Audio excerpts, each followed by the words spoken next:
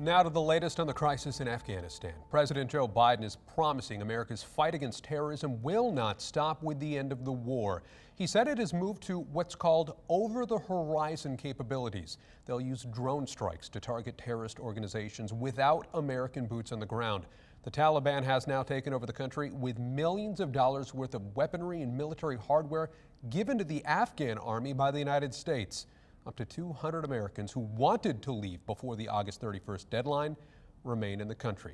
To that end, West Michigan Congressman Bill Huizenga says he is in contact with a person in his district whose fiance is fighting to get out of Afghanistan.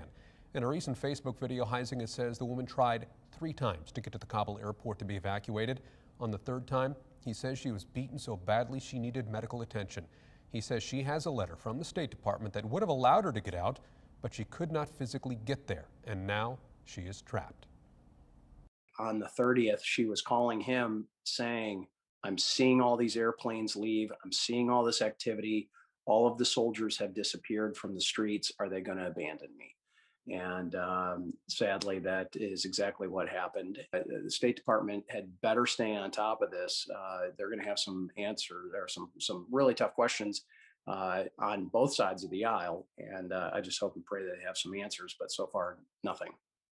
Representative Huizenga also says he has not been given any update on a Marine from the 2nd District whom he says, or he was told, was injured during the attack on the Kabul airport last week.